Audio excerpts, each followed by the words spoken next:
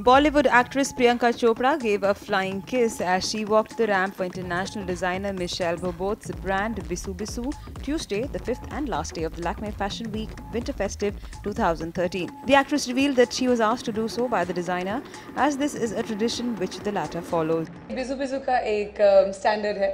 तो मुझे जाने से पहले मिशेल ने बोला था कि ये बिजू बिजू का um, स्टेटमेंट um, statement होता है उनके हर फैशन शो में so to blow a flying kiss so maine indian style here.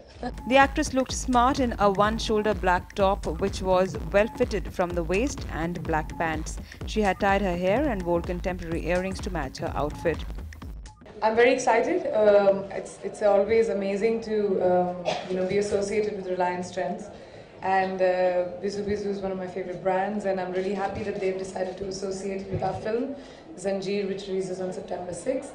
And um, well, the character that I play in the film is very fashionable until all her clothes get stolen. So. Uh, The line included a wide range of trendy clothes for women, including skirts, shorts, summer dresses, jumpsuits, gowns, pants, jackets, among others. The colors used for the collection were fresh like blue, pink, and black. IANS report.